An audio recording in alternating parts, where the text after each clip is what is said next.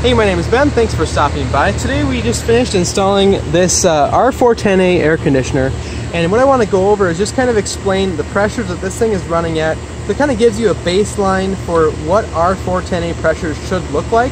Uh, right now, uh, the system's been running for a little while, and it's really important to pay attention to your ambient conditions. So today it is 83 degrees out. We are in the shade, so it should be pretty much 83 degrees air that's being pulled through this outdoor unit. And inside, I think it's about 76, 78, something like that, yeah. I want to say. Um, so it's pretty normal conditions that this thing is operating under right now, which is perfect for being able to just kind of get a baseline idea of what our pressures are running at. If your temperatures are a lot different, you're going to have to take that into account when you're looking at your pressures for your unit. So uh, just real quick, explain the connections that we have here. We have our larger line here, which is our suction line, and we have our blue hose or our low side hose connected here. That's designated on our gauges by low on the side handle right there and a blue dot.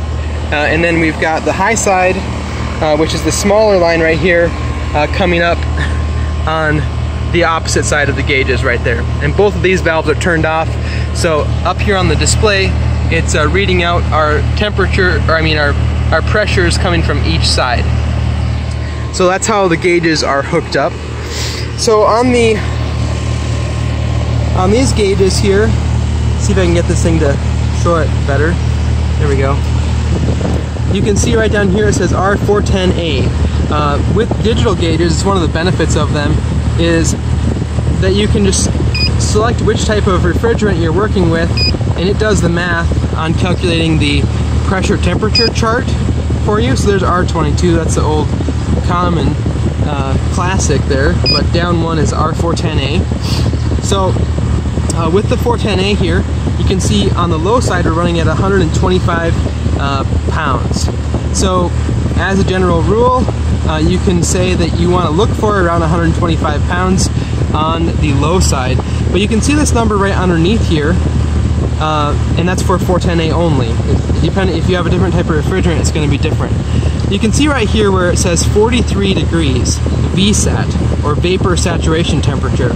And that's the number you kind of, if you want to understand a little bit more, uh, that is the temperature that the, the Freon is evaporating at in the uh, coil downstairs. And so what's important is that is that that number doesn't drop below 32 degrees.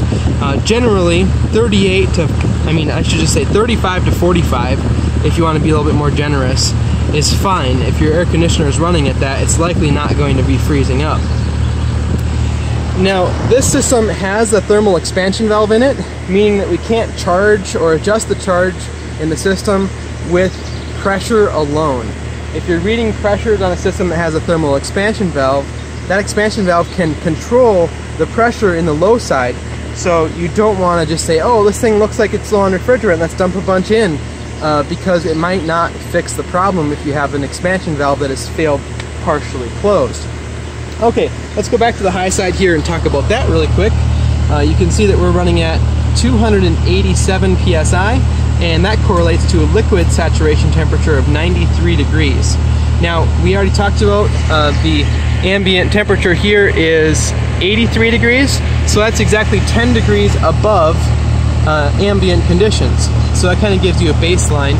Uh, generally speaking, in refrigeration applications, uh, that liquid saturation temperature for the condenser, so for this outside coil here, uh, you would never want that pressure to correlate to a temperature higher than 30 degrees above ambient. So there's a couple things I want to mention regarding that 30 degree uh, rule of thumb.